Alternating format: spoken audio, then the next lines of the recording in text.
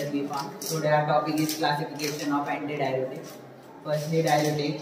Diuretic is classified into high ceiling, medium efficacy, uh, weak or adjunctive diuretics. It's further classified into furosemide, uh, bumetanide, toracimide.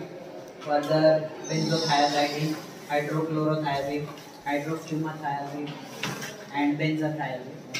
Uh, these some of the inhibitors of chlorines are thiazide like uh, chlorothiazidine, uh, metazolone, zipamide, indapamide, and clopamide. Uh, weak diuretics are carbonic anhydride inhibitors are acetamide. Then osmotic diuretics are mannitol and glycerol. Now antidiuretic. Antidiuretics are classified into antidiuretic hormone and its analogs. Uh, natriuretics, miscellaneous. Uh, these are antidiuretic hormone and its analogs are vasopressin, desmopressin, terlipressin. Natriuretics are thiazides and amiloride.